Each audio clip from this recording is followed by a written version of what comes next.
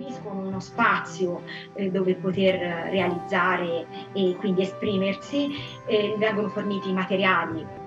Abbiamo nel laboratorio eh, le possibilità, tutte le possibilità di potersi esprimere, i materiali a disposizione sono i più vari, dalla pittura al disegno con tutte le tecniche